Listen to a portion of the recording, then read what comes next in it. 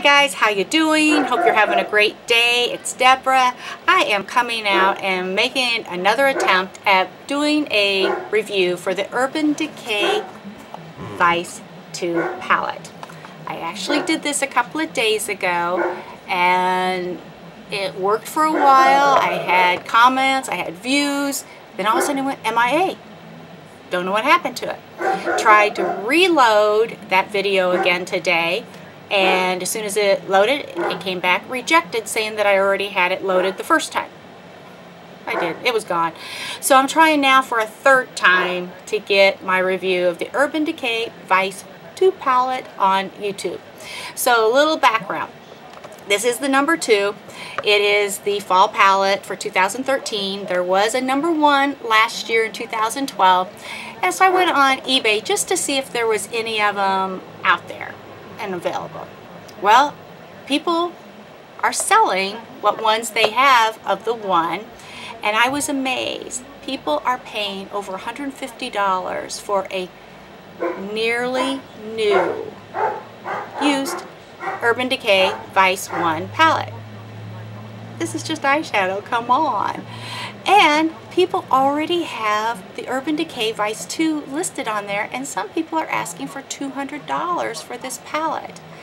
If you are thinking about buying this palette, now's the time to do it. Go to Urban Decay, go to Ulta, go to Sephora, go to a reputable online site, whatever, and buy it. It's $59 if this is something you're wanting to buy.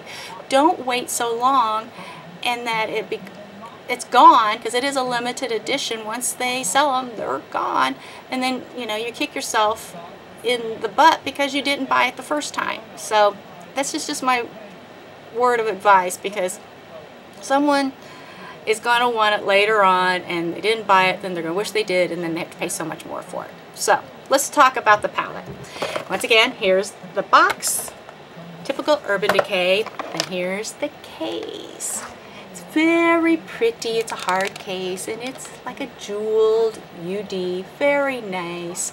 And what's really cool about this palette, I don't have the one, so I don't know if it did it too, but it has a little button that is a spring load that opens it up. So let's look at the colors. Aren't they pretty?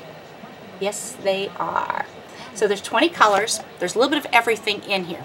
If you are looking for a palette that's going to meet a lot of your needs, whether you want some bright colors, neutrals, some shimmers, some matte, you want something that's going to give you umpteen combinations, this would be a great one to get because you can do so much with it, as you can see. Now, I actually tried this the other day when I did the video the first time, and I was a little concerned because three of the shadows that I used, I used Dope, uh, Ambush, and Smokeout. After about two hours, I noticed they started creasing.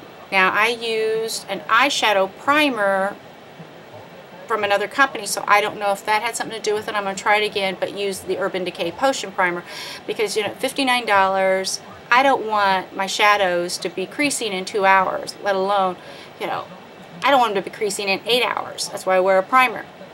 So that does concern me a little bit. But this is un that's unusual for Urban Decay because their quality is usually so good that you just don't have creasing problems. You know, these shadows are very soft, very buttery, very pigmented, and the color, a little bit of color can go a long way so you can do a real light hand with it and get a nice sweep of color or you can go a little more heavy-handed and you can have some massive color. So let's talk about what's in the palette. And I've actually swatched them. It also comes with a, like a two dual end makeup brush that is thick, fluffy, and soft. So I have to keep looking down because I don't have these shadows memorized, but let's talk about the colors. Now the first one up here is a dark chocolate brown Smokeout. This one is a black that has sparkle, sparkle, sparkle in it, and this is Lovesick. Then the beautiful silver is Shellshock. Then we have a pretty rosy pink, and that is Coax. Then we have a real pinky pink, and that is X-rated. Wouldn't you love to be part of a focus group or whatever you know, group that comes up with these names? I just love these names. So, second row. This is a beautiful navy blue, and it looks much more intense on the skin than it does in the palette. And this is Prank. Then this blue is Madness. Then there's a gold. It's kind of hard to see a little bit. Hopefully you can see it. Strike.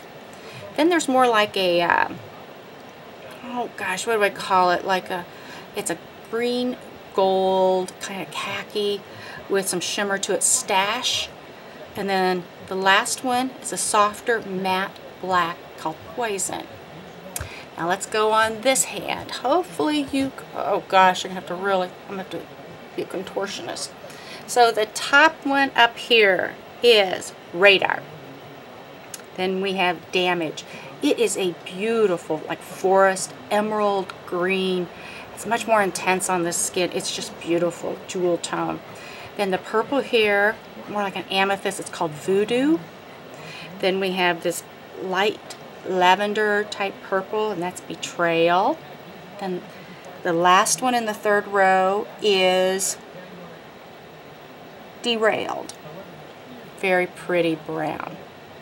Now, this first one here is Dope. Then we have more of a orangey gold, which is Toxic. Now, I could not get Habit to show up on my skin But that's it. That's a habit. Okay, it's very pretty. Great under brow, corner type color.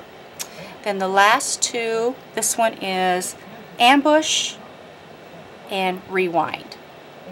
So there's browns, there's blacks, there's greens, there's navy, there's purples, pinks, the silver. I mean, this Shellshock is just, it's beautiful. It is such a beautiful color. All of them are all of them are pretty. I mean, that's one thing. Urban Decay is not going to, um, what's the word I, am trying to think of? They're not going to um, disappoint you when it comes to their colors because their colors are beautiful. Try to do this so you don't have a glare. But once again, there's the colors. So I love the colors. I love the possibilities of everything that you can do with it. So if this is something that you're thinking about, you want a palette that's going to take you through the seasons, that gives you all these different combinations, this is a good one to get. $59, limited edition, don't wait too long, that if you have to go to eBay and pay a lot more. So this is, I give it a thumbs up. I am, you know, the only thing I'm concerned about is possibly the creasing, but I'm hoping that was just a fluke, but another hit for Urban Decay. So until the next video, I wish you all a great day. And if you haven't subscribed, please subscribe. And if there's something that you would like for me to do a review on, please let me know. And I always appreciate wonderful positive comments. So until the next video, have a great day. Bye.